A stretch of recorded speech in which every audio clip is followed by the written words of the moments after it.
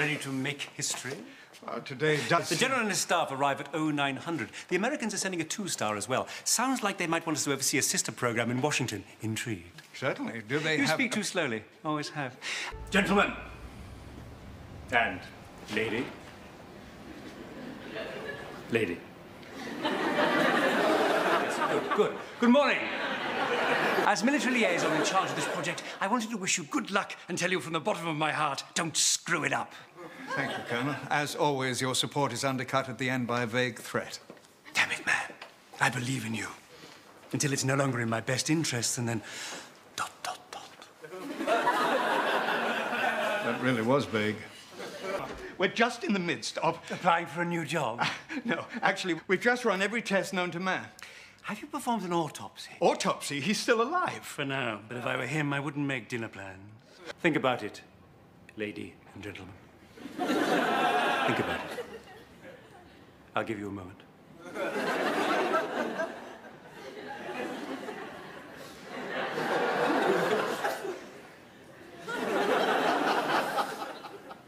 Now, without further ado, Colonel, you've got to give me more time. you just don't get it, do you? My career is on the line. What about my career? Your career is over. It's ancient history, like a dial-up internet connection or pubic hair in porn. This guy's some sort of prototype super weapon, isn't he? How do you know that? Grapevine. My God! For a super secret government agency, we are incredibly gossipy. You need a hug. Don't touch me. Oh, that just makes me want to touch you more. Don't! I'll just stand extremely close to you then. I've. I've got a special forces team outside to collect him. You have five minutes to get him ready.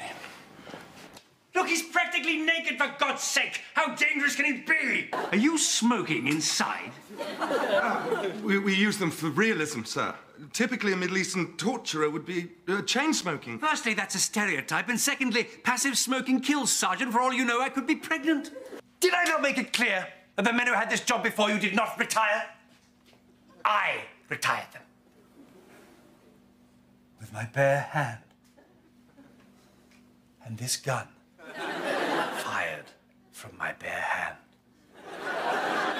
Get out! You're fired from the army! Get out! The rest of you are all dead certs for commendations. Unless it slips my mind, or you displease me in some tiny way.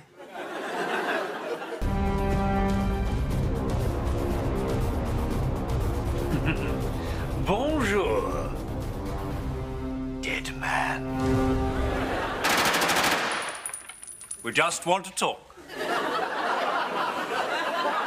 Could you find anything? Could you find the word surveillance in the dictionary? If I put this mug behind my back, would you remember where it was? I understand your frustration, sir, but I think we're going to need to be patient. Eventually, he will make a mistake.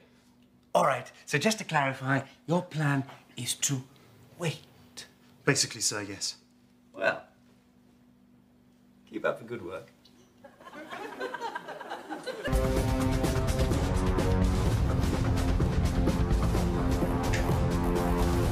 Hola, dead man.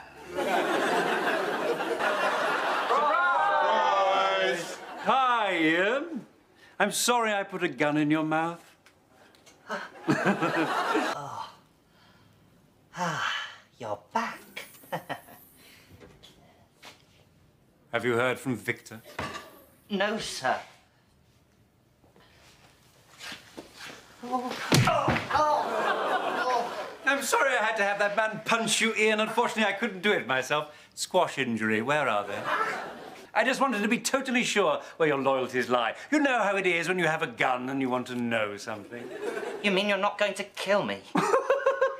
Of course not.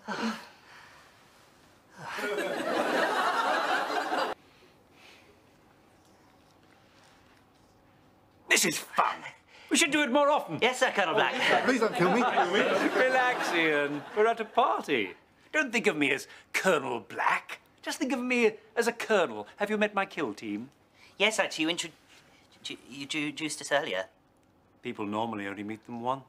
Edwards, I see you're wearing brown shoes. What a fun twist on regulation uniform. Thank you, sir. Not at all. Kill him.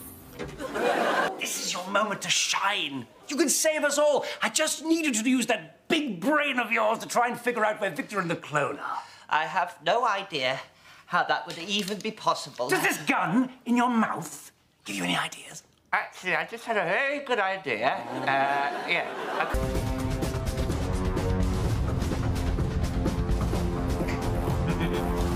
Aloha, now you may laugh. That's enough. Little more. Stop! Sure, MI7 doesn't know I've been deflecting the signal. We do know. Now, bring me the gun.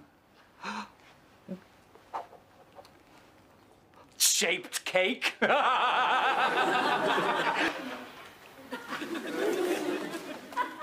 Do you have children? Yes, two, sir. Any good at earning money and raising themselves? They're babies, sir.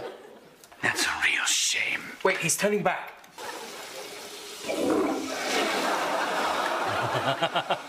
Congratulations. Looks like your lazy babies still have a daddy. Well, thank you very much, sir. This is awkward.